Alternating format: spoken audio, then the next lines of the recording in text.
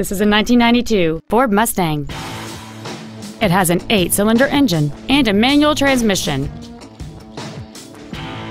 Its top features include a locking rear differential, a rear spoiler, fog lamps, front multi-stage airbags, and this vehicle has fewer than 21,000 miles on the odometer. We invite you to contact us today to learn more about this vehicle. Texas Motor Cars is located at 1600 Midway in Addison. Our goal is to exceed all of your expectations to ensure that you'll return for future visits.